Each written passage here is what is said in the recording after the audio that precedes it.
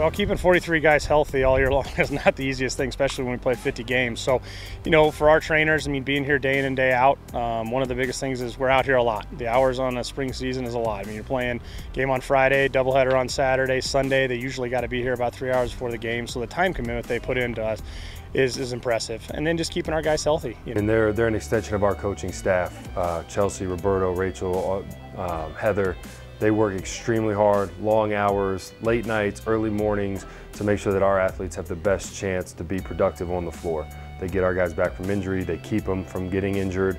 Uh, without, without them and their hard work, um, we wouldn't be able to do what we do and our guys wouldn't be able to perform at the high level that they perform at. The athletic trainers that we, uh, we have on staff are you know, absolutely awesome and you know, we're very grateful to have uh, Roberto work with the men's and women's teams.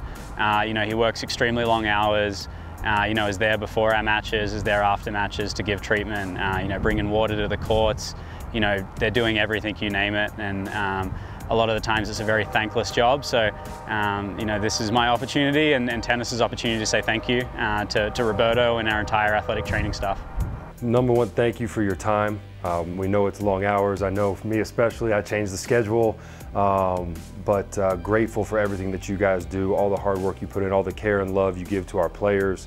Um, I know that they think of the training staff as a, almost a psychological staff as well, and, and they're a, a shoulder to cry on, someone to laugh with, someone to help them through the difficult times of not just injury, but of the day in, day out of college and, and, athletic life. So thank you guys for everything that you do.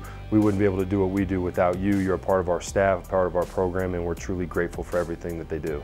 Hey Heather, just wanted to give you a shout out and just all the praise that you deserve for always keeping us healthy and on the court. Thank you so much.